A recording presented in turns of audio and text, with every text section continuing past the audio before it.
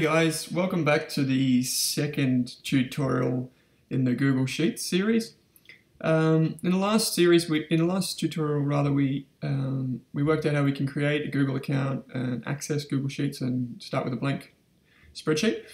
In this one, I'm just going to show you how, very quickly how to save your document. Um, and from the last tutorial, you'll remember that when we created a Google account, we had access to all these cool apps here. Um, this one here is known as Google Drive. Um, and this is an online storage place where you can keep all your Google Sheets um, and they'll automatically save there. Um, so when we save this, um, it automatically saves to this place called Google Drive and I'll show you where that is in just a moment.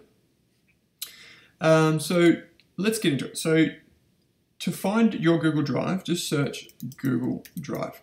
You, uh, you can see I've just opened a new uh, tab, a new web, web browser tab, and I've searched for Google Drive, and you can see the first one here um, has popped up.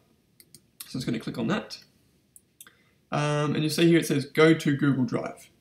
Um, so we'll click on that one.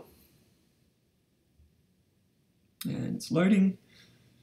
And you'll see here that this is a file system. It's just like anything you'll see on an Apple or a Microsoft product.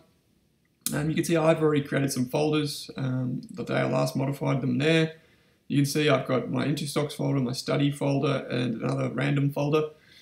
Um, so just jumping back to this spreadsheet here, to add a title to this spreadsheet, you'll see up the top right hand corner, uh, left hand corner rather, uh, I'm going to title this spreadsheet that we're going to make Owen's Tutorials. And I just type that in and then I'll click somewhere else. And you can see here it says saving. It says all, all changes saved in Drive. And it says every change that you make is automatically saved in Drive. Last edit was a few seconds ago, whatever. So what it's automatically done is every time I make a change to this spreadsheet, it saves in my Google Drive. So let's go back to Google Drive and just have a look at where it's saved. So going back into the other tab. Oh, and there it is. You can see there's my there's my Google Sheets spreadsheet um, and it's titled Owen's Tutorials. It was saved by me, or I'm the owner, um, and it was last modified by me at 10:38.